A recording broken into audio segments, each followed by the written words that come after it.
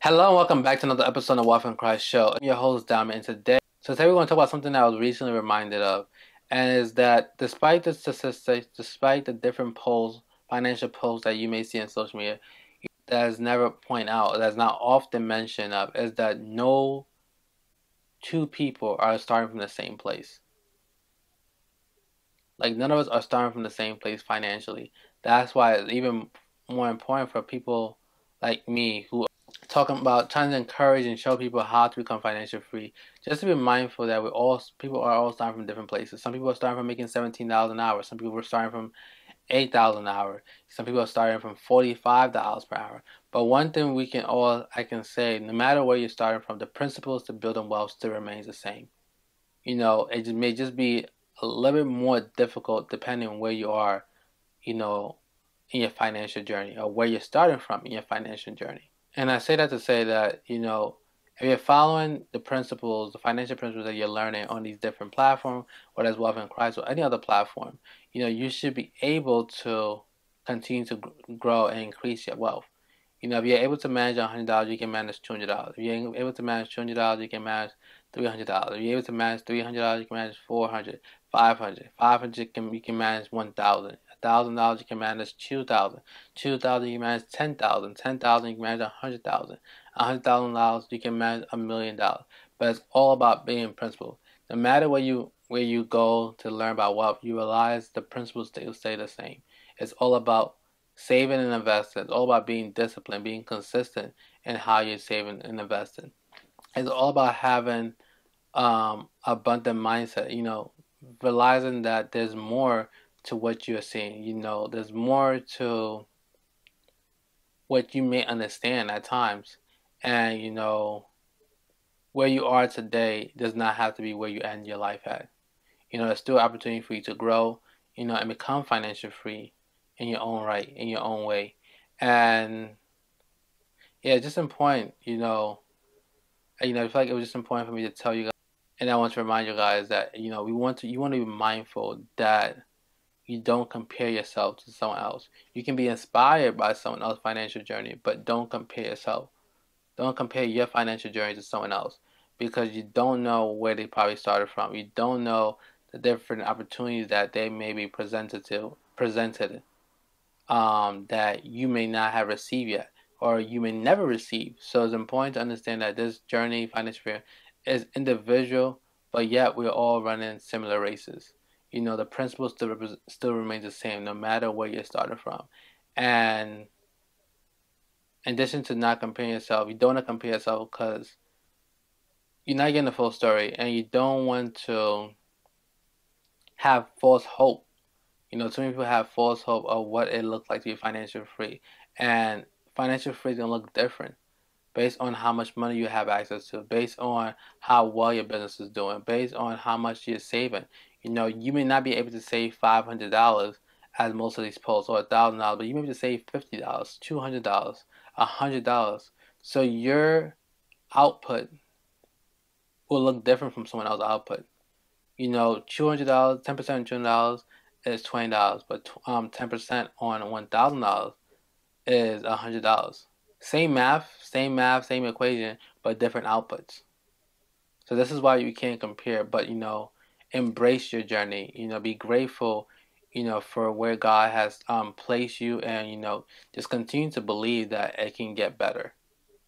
That you know, this is not the end for you. You know, the future is still bright, and it just leads on to, and you know, the other thing I was, the other thing I was recently reminded of, um, this week, is that even though we all are starting from different places, um, even though we all are not starting with the same amount of money, you know, it's still possible to be good stewards of our finance.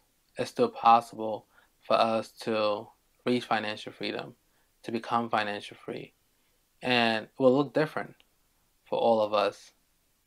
But that shouldn't discourage you. That shouldn't be um, hold you back from wanting to pursue the dream of becoming financial free. You know, it should you know, it should inspire you. You know, it should inspire you that it's possible to do it.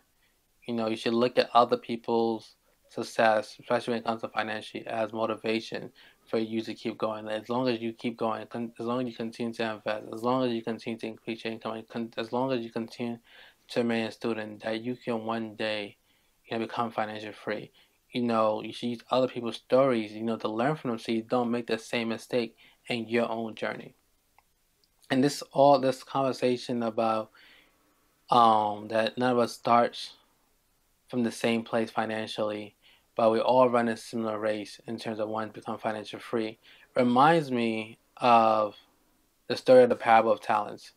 And we can find that in Matthew 25, 14 to 30. And I read, For it will be like a man going on a journey who called his servant and entrusted them his property. To one he gave five talent, and to another to another two, to another one, to each to each according to his ability. Then he went away. He who received five talent went at once and traded them, and he made five more talent. So he, so, and also he who had a two talent made two talents more. But he who had received one talent went and dug in a ground and hid his master money. As we can just as we see reading the first few scriptures verses, we'll see that it's two different mindsets we presented here. There's one where you know, where it's appreciative and see that, you know, there's there's more you can do with this money. They're appreciative of what they have, and they use they're becoming being coming they are being good stewards of the finance that was placed, you know, in their hands in their possession, and they went out to go and double it. They went out to increase, you know, what they had received from their master. And the same hand, we see one who was not appreciative of the talent of the money that he is given, and he went to go and hide underground. He didn't see no value and wanted to go out and do the same as the other two in terms of increasing the money, provide you know, uh, making more money with his master money. He didn't see no value in doing that. So, so you see two different persons here. We see a person who's being a good steward of their finance and is going out to make more of what they have. And we see another person who's ungrateful, who just like, no, and wants to go high because of fear. The limit, their, their mindset, their belief is limited. And that's why they don't see the reason why they should go out and make more of what they have. And it continues to read. Now, now after a long time, the master of those servants came back and settled account with them.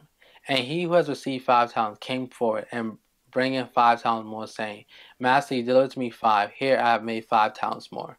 And his master said to him, Well done, good and faithful servant. You have been trust you have been faithful over little, and I will set you over much. Enter into the joy of your master. And he also, who had two talents, came forth, saying, Master, you delivered me to two talents. Here I have made two more. His master said to him, Well done, good and faithful servant.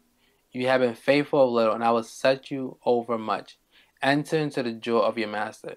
As you can see, both the both people, both servants, the one that had five talents and went to double it to make ten, and the one that had two talents and went to double it and make four, they both got the same reward. They were both greeted the same way. They were both appreciated in the same way by their masters. But now let's look at what happened or how the master spoke to the one who went to go and bury his.